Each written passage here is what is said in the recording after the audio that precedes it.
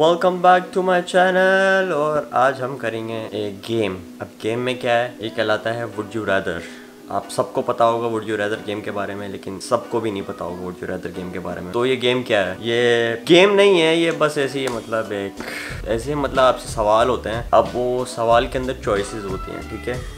और ये जो चॉइसेस होती हैं, ये बहुत वियर्ड चॉइसेस होती हैं मतलब अगर आप ये चाहोगे, या ये चाहोगे इन अ गिवन सिचुएशन सही है? अब आपको स्टोरी का जिस पता चल गया है move on to the question देखो, मैं आपको ब्लॉग शुरू करने से पहले एक और इम्पोर्टेंट बात बताता हूँ। देखो, मैं इंग्लिश में इसलिए इतनी बात नहीं करता क्योंकि क्या यार मतलब हमारी क्या पता नहीं, पाकिस्तानी अवाम है, पाकिस्तानी अवाम को क्या इंग्लिश नहीं आती? पाकिस्तानी अवाम को इंग्लिश आती है, लेकिन हर किसी को इंग्लिश समझ में नहीं आती तो मैं हर किसी को केटर करना चाह रहा हूँ। लेकिन एट टाइम्स मैं इंग्लिश भी यूज़ करूँगा। ऐसा नहीं है कि मैं इंग्लिश बोलूँगा ही नहीं। I am gonna use English in my vlogs I mean मैं जो चाहूँगा मैं वो करूँगा। ऑडियंस जूता लेके भागेगी मेरे पीछे। खैर um, तो खैर चलो बढ़ते हैं हमारे क्वेश्चंस की तरफ़। और पहला क्वेश्चन हम क्या होगा?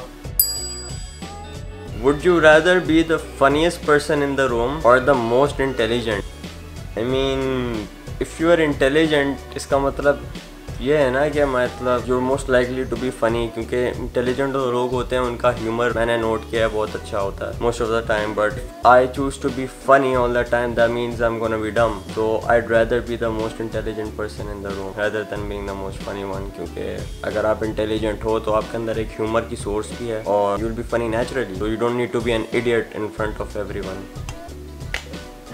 अच्छा।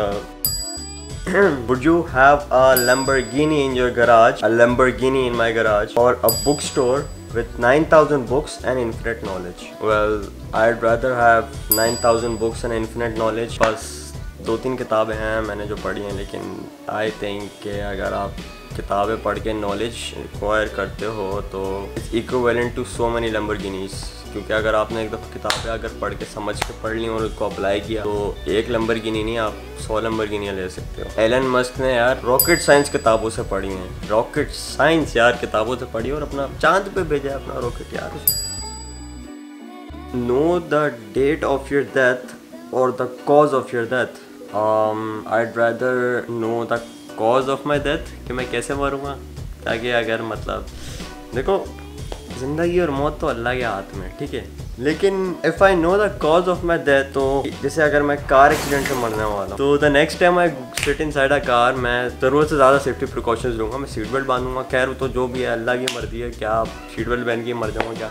लेकिन यार, देखो एक्स्ट्रा प्रिकॉशंस लूँगा मतलब दुआएँ हमेशा पढ़ता हूँ वो भी, लेकिन बार बार पढ़ूँगा, और मतलब यूँ तरीके से गाड़ी चलाएँगे, और और क्या, और और क्या, बस बाकी अल्लाह क्या छोड़ दो। Would you rather have the lights on or off? If you knew the room was full of snakes? I mean, I've been in a room full of snakes. It was back when Corona शुरू हुआ था उससे पहले की बात है ये। मैं तब भी सरवाइव कर गया था। Okay. यार देखो अगर तुम लोग बोल रहे हो ना किसको सांप बोल रहा है तो अगर तुम सांप हो तो तुम तुम सांप हो फिर। तुम क्या मतलब? अगर तुम्हें लग रहा है तुम सांप हो तो तुम सांप हो। सी बी एम वाला सांप। Would you rather find $100 floating in a public toilet or $5 in your pocket? $5 in a pocket. Would you rather win $25,000 or have your best friend win $100,000?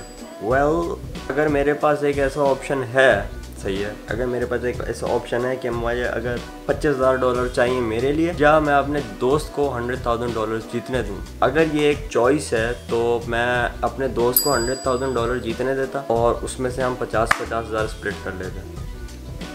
Modern problems require modern solutions यार यार, एक और बात मैं आप लोगों को बोलना चाहूँगा कि thank you all for the support जो भी मतलब जिन्होंने सपोर्ट किया है स्टेज तक 286 मेरे सब्सक्राइबर्स हैं, लेकिन मेरे लिए वो भी बहुत हैं लाइक ऑर्गेनिक सब्सक्राइबर्स गेन करना it's an achievement for me even अगर मेरे पास 286 लोग मुझे देख रहे हैं तो I keep making videos for the 286 people out there who are supporting me ये जो सारी फैम जो अभी सपोर्ट कर रही है, ये पार्टी दूँगा इनको मैं। अच्छा तो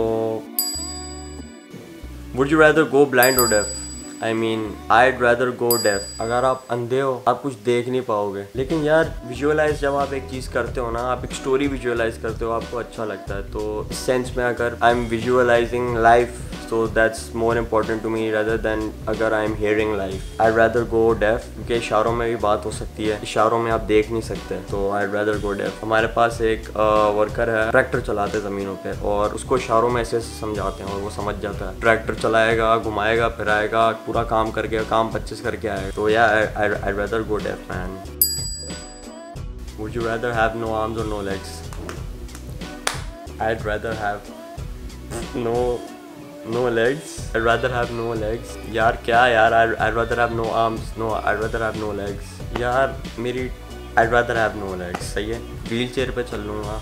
हाथ काम तो कर रहा हूँ यार, कुछ ना कुछ वीडियो तो बना रहा हूँ क्या? नहीं यार, मुझे मुझे नहीं खेलना यार ये गेम क्या नेक्स्ट क्वेश्चन यार? I'd rather no likes would Would you rather live forever और die in the next five minutes I rather die in the next five minutes क्योंकि यार देखो अगर मुझे पता है कि अगर मैं अगले पाँच मिनट के अंदर मरने वाला हूँ तो मैं अच्छा काम करके मर जाऊँगा लेकिन अगर मैं जी सकता हूँ मतलब फ्रीडम होगा मेरे पास मैं कुछ भी करता हूँ यार क्या फ़ायदा मतलब I don't see any point of living forever दुनिया फानी है bro So that was it for today. Anyways, um, thanks again. Shout out to all the support fam out there. You know who you are. I hope you guys enjoy it and मैं कोशिश करूँगा कि मैं video जैसे बनाता रहूँ, सामने आके। तो क्या यार, क्या तुम सामने नहीं आते? लड़के कैमरे लेके बस इधर उधर निकलते रहते हो। क्या सीन है तुम्हारा? तुम हो कौन? कहाँ से आए हो? मैंने इंट्रोडक्शन भी नहीं दिया अपना। इंट्रोडक्शन की भी मैं एक वीडियो बनाऊँगा।